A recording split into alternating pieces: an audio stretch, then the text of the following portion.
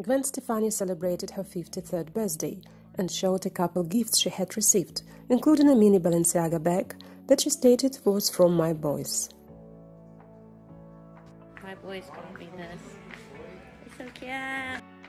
The beauty could possibly be referencing to her husband Blake Shelton and three sons whom she shares with her ex-husband Gavin Rossdale. Gwen also showed a delicious birthday cake that she received.